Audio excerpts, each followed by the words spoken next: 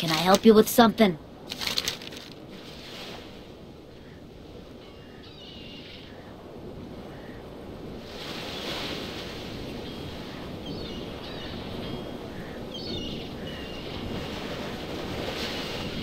Security, enforcement, extortion. What you want?